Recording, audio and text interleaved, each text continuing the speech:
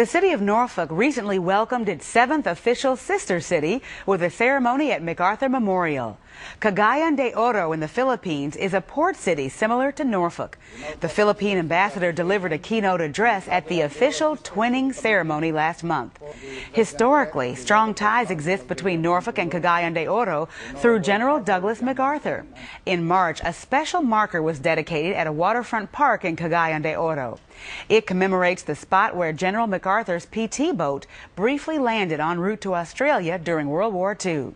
A significant trail in world history is being traced through this twinning, a trail that has led us to the steps of the General's final resting place.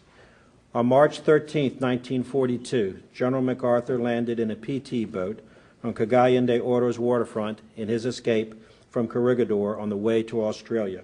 I shed a tear when I saw him and heard him in 1961, his last sentimental visit to the Philippines and he addressed the University of the Philippines.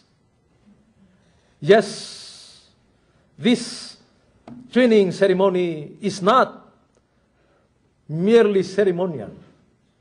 It fulfills what he said, among what he said. It is of the Spirit if we are to save the flesh. He articulated that in another speech in Congress, 1951, when he said, What the world needs is spiritual recrudescence. And this is something that I look forward to as evolving among peoples. And so today we are signing an agreement, sisterhood, between Cagayan de Oro City and Norfolk City.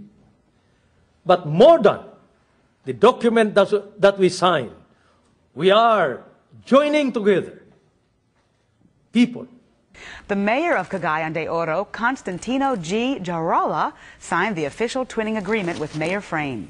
Cagayan de Oro means City of Golden Friendship.